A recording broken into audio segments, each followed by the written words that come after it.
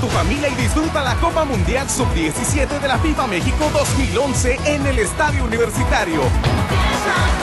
Nuevo León Unido, gobierno para todos.